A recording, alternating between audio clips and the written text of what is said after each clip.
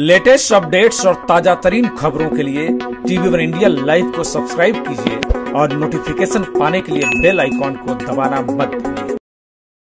नवी मुंबई की वाशी पुलिस ने एमएससीबी की इलेक्ट्रिक केबल चुराकर बेचने की फिराग में लगे दो आरोपियों को गिरफ़्तार कर लिया है।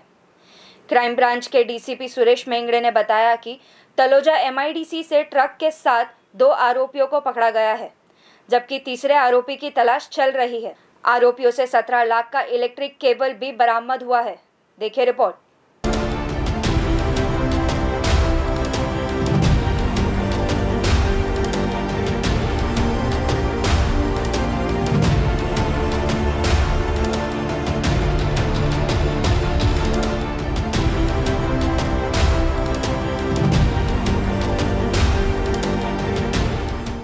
वाशी पुलिस ने बिजली विभाग के इलेक्ट्रॉनिक केबल की चोरी कर बेचने की फिराक में लगे तीन आरोपियों में से दो को गिरफ़्तार कर लिया, जबकि तीसरे की तलाश में जुटे हैं। डीसीपी क्राइम सुरेश मेंगड़े ने बताया कि आरोपी राजपूत गौड़ और शानू उर्फ़ हनीफ के एक सहयोगी के साथ मिलकर एमएसईबी की इलेक्ट्रॉनिक केबल चुराए और ट्रक में डालकर तलोजा में छुपा दिया।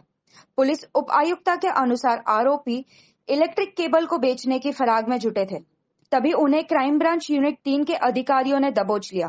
फ़िलहाल एसीपी चौहान के नेतृत्व में आगे की जाँच चल रही है। 24 तारीख को इसी महीने में वाशी पुलिस स्टेशन में एक चोरी का मामला दर्ज हुआ था, जिसमें कुछ इलेक्ट्रिक केबल छः लाख अस्सी पचासी हज़ार का चोरी हुआ था मिनी मार्केट वाशी से। ऑफेंस 379 आईपीसी के तहत वाशी में दाखिल किया था। तो ये ऐसे कुछ पहले भी कुछ वारदातें हुई थी तो हमने क्राइम ब्रांच को भी अलर्ट किया था, जो कि यूनिट थ्री और यूनिट टू को बताया गया था कि उस इलाके में जाने की संभावना है। तो हमारा यूनिट थ्री के जो इंचार्ज है श्री माली और उनके ए पी आई कोराटे, उनकी सारी टीम है। उन्होंने तलोजा एमआईडीसी में ये ट्रक सेम नंबर का ट्रक पाया। वो पूछताछ करने के बाद वो पार्क किया था। वो पूछताछ करने के बाद उसमें एक जो क्लीनर है उससे पूछताछ करने के बाद उसने अपना नाम कुछ राजपत गौड़ बताया, जो मुमरा का रहने वाला है और वो मूलतः उत्तर प्रदेश जौनपुर का है।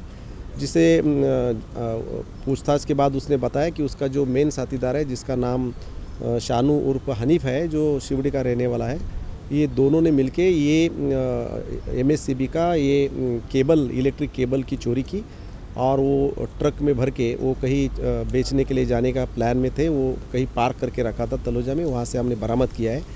फ़िलहाल क्राइम ब्रांच तीन की टीम यह पता लगाने में जुटी है कि आरोपियों ने और किन लोगों के साथ इलेक्ट्रिक केबल चुराने का वारदात को अंजाम दिया और बिजली केबल को किन लोगों के हाथ बेचना चाहते थे। डीसीपी सुरेश मेंगड़े ने कहा कि तीसरे आरोपी को गिरफ़्तार करने के बाद इसका भी खुलासा हो जाएगा। इसमें चोरी हुआ, पूरा माल हंड्रेड परसेंट रिकवर किया गया। ये रिकॉर्ड के गुनेगार है। इन्होंने पहले भी कुछ ऑफेंसेस किए हैं और और कितने ऑफेंस किए, इसकी भी जानकारी यूनिट थ्री कर रहा है। और इसमें जो चोरी हुआ था, वो पूरा 100 परसेंट रिकवरी माल किया गया है और वो ट्रक भी जब्त किया है, जिसका टुक कुल मिलाकर 17 लाख के करीब मुद्दे माल हमने जब्त किया है। आगे का इन्वेस्टिगेशन हमारा टीम यूनिट थ्री का एसीपी श्री चौहान इनके नेतृत्व में कर रहा। है अली पुलिस कस्टडी रिमांड में ऑनरेबल कोर्ट ने उनतीस तारीख तक दिया है। तो अभी ये ढंग से नहीं बता रहा है, लेकिन वो सब वो शानू ने किया करके बता रहा है, उसको सब मालूम है। लेकिन वो अरेस्ट होने के बाद या इसका कस्टडी खत्म होने के पहले हमें पता चलेगा इसका रिसीवर कौन था। Bureau report TV one India latest updates और ताज़ा तरीन खबरों के लिए टीवी वन इंडिया लाइव को सब्सक्राइब कीजिए और नोटिफिकेशन पाने के लिए बेल आइकॉन को दबाना मत। भूलिए